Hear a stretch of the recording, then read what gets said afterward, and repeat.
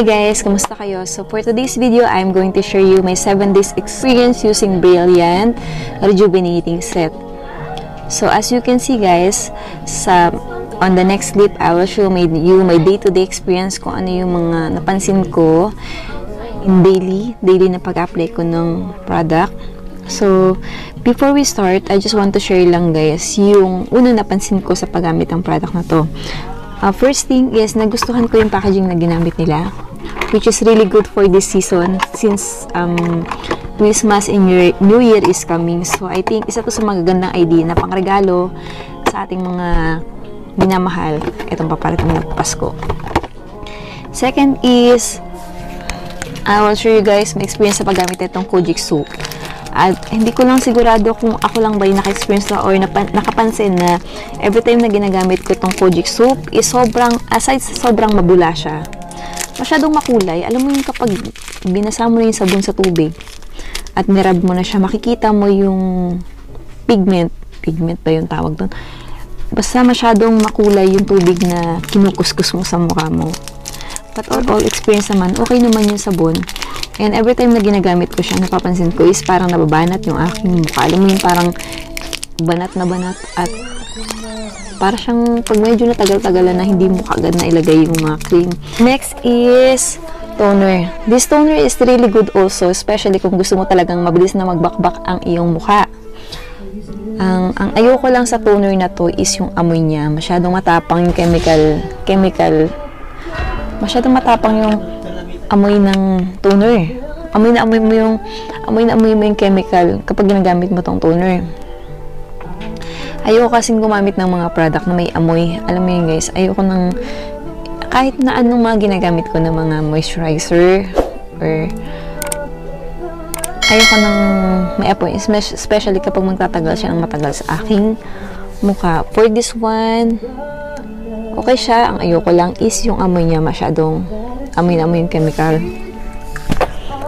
So, next is the sunscreen gel cream. This one is really good also, guys. Um, nakaka-moisturize siya at the same time, SPF 30, which is kailangan ng balat natin habang gumagamit tayo ng rejuvenating set. Ang advice ko lang, guys, so every time na kahit sabihin mo gumagamit tayo ng sunscreen na may SPF 30, it's not advisable pa rin na maglalabas tayo ng bahay at magpaaraw, lalo na kapag gumagamit ka ng rejuvenating set.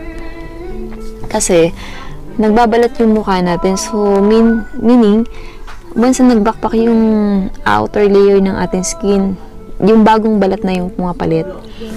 So, um, advice ko na huwag muna magpaaraw habang gumagamit para maiwasan din natin yung mas masunog, masusunog kasi yung ating mukha kapag tayo nagpapaaraw. Yun yung mga mangyayari. Alam mo yung mga sa Pilipinas before is usong-uso yung paggamit ng mga astringent. And then later on mapapansin mo sa iba nating mga kabayan na gumagamit ng astringent is makikita mo na may malalaki na silang um, pekas ba yun? Or parang nagiging mukha na siyang peklat or nagmumukha na siyang balat sa mukha. Yun yung effect kapag gumagamit ka ng rejuvenating set and then magpapa magpapaaraw ka or maaarawan ka sa labas. To so it is really, really necessary na kapag gumagamit ka ng rejuvenating set is huwag kang magpa-araw iwa or iwasan muna nating lumabas under the sun. Next is this one, the rejuvenating facial cream na panggabi. Okay din siya guys kasi etong dalawang cream na to uh, pansin ko sa kanila, nagustuhan ko sa kanila is wala silang amoy. And ayun, maganda silang. Ayoko lang ng medyo downside lang nitong mga creams. Ayoko kasi ng mga creams na malagkit. So, pag ina-apply mo na siya, ang napapansin ko is maano siya. Ewan ko kung dapat ba talagang ganun kasi first time ko lang kasing gumamit ng mga gantong rejuvenating set. So, hindi ko alam kung talaga bang ganun ang component kapag gumagamit ka ng uh, gantong klaseng rejuvenating set. So, hi guys! I'm on my second day ng paggamit ng Brilliant Rejuvenating Set. So, for my second day, napansin ko is medyo mapdi siya kanina nung naghilamos ako. And then, napansin ko meron ng mga konti-konting pagpipil off sa aking mukha dito sa gilid ng ilong at saka dito sa bandang baba. So, ngayon, i-apply ko ulit itong toner. Nung first day kong ginamit yung Brilliant, first time as in nung unang-unang lagay ko, after kong gamitin yung toner, yung napansin, napansin ko sa kanya medyo kumati yung aking mukha. Parang medyo very very light lang naman na pangangate. Ah, aray. Mahapdi na siya guys. Tinamaan niya yung part na nagbabakbak ang aking mukha. So, medyo masakit. Pero okay pa naman, carry pa kasi maliit na part pa lang ng mukha yung aking hindi ah, masakit siya. Tama pa rin sinasabi nila na pag nag-apply ka nito, dapat nakatapat ka sa electric fan kasi mainit, mainit. Ano, hapdi siya sa mukha. So, hindi ko na siya nirarab. Dinadump-dump ko na lang siya sa aking mukha kasi nga baka madama yung balat na may nagbabakbak ng balat. Medyo masakit na siya kapag tinatamaan ng toner. So, okay na. Apply na natin tong sunscreen. Hindi na ako masyadong naglagay ng makapal na sunscreen guys ha, kasi hindi naman ako lumabas ng bahay maghapon. So, nandito lang ako sa loob ng room maghapon.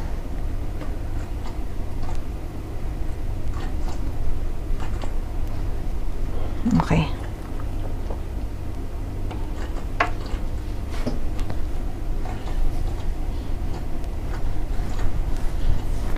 Makakaloka. Matapang nga siya guys. Kasi in-expect ko mga ilang araw pa to bago mag bakbak yung mukha ko. So, for me, pangalawang araw pa lang. Pero, may mga paunti-unting natutuklap-tuklap na yung aking mukha at medyo mahapdi na siya kapag ina-apply mo ang toner. So, zip. Hey guys, I'm on my third day today and pagkagising ko, ganito na yung nangyari sa mukha ko. So, may mga nag-start na yung peeling. I'm still on my third day at ito nang kaganapan sa aking mukha. Um, 9 p.m. already. Tapos, ganyan na siya. Pansin ko lang guys, sa buong maghapon, mainit yung pakaramdam ko, mainit yung mukha ko, medyo namumula-mula na siya. Tsaka, makati. Makati yung mukha ko. So, hi guys, I'm already on my fourth day. So, for today, ayan na nga siya. Nag-start na yung mas malalaking pagbabakbak. Pero hindi naman siya malalaking mga, as in mga tipak-tipak na pagbabakbak. Pagbabakbak. Pagpipil. Tapos, uh, napansin ko lang ngayon, medyo mahapdi-hapdi ang mukha ko every time na maghihilamos ako. Even Kojic lang ginamit ko, nararamdaman ko ni hapdi. After kong maghilamos at lalo na kapag in-apply ko na yung toner. So, ayan na siya. Fourth day. So, ito na ang result ng ng brilliant rejuvenating set sa aking mukha. Guys, this is my fifth day on this picture. Hi guys, so for today, I'm already on my 6 days at ito na ang kaganapan sa aking mukha. Medyo, medyo malaki-laki na rin yung mga nabakbak. At napansin ko, on my 6 days is nag-lighten up na yung aking mga pimple marks. So, gaya ng isa dito. At yung isa dito. Konting habol na lang guys para mawala yung aking mga peka sa part na to. Okay? So, 6 days. So, okay.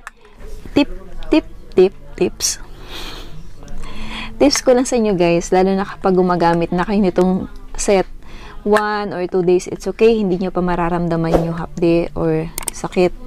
Meron very, very mild lang. Like, parang medyo konting hapde sa mukha, lalo na kapag, kasi nung first day ko, hindi ko pa naramdaman yung hapde.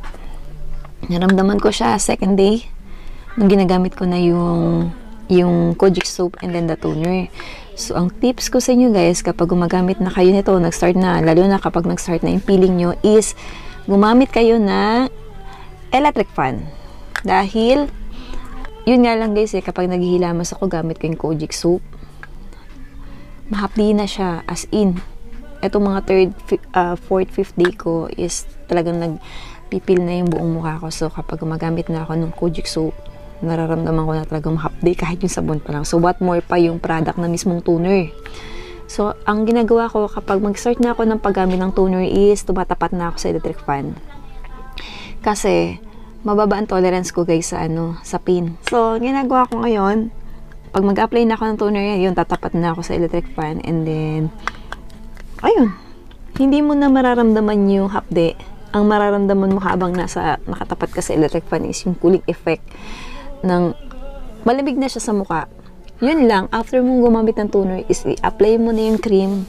Again, another na mahapding pakiramdam na naman. Pero, uh, hindi naman siya nagtatagal. Parang mga it will take 2 or 3 minutes lang na mahapde. Minsan parang nararamdaman ko rin habang ina-apply ko siya is medyo makati-kati siya. Nayaan ko lang siya, medyo hindi mo naman maiwasang magkamot. So, ganyan-ganyan lang eh, guys, yung kuko natin ha, make sure na maiksi yung mga kuko. So, para, kasi nga dahil nagbabalat ng ating mukha, so sensitive yan. Malambot pa dahil bagong bakbak nga. So, ibig sabihin yung nasa outer layer ng skin natin is ito na yung mga bagong skin dahil nagtanggal na yung luma.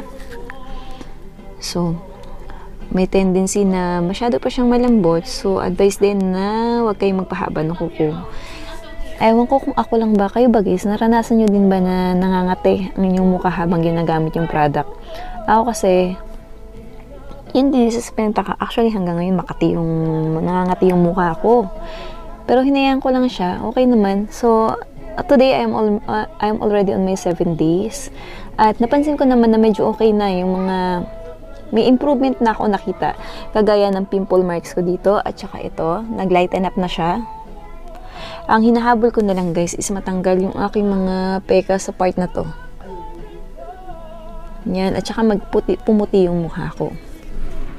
Alam niyo naman guys, kapag bagong panganak ka, insecurities ka na, may, na sa katawan. So, for me, isa to sa mga ginugul ko sa sarili ko na bumalik yung dating ay wak, alam mo kaganan.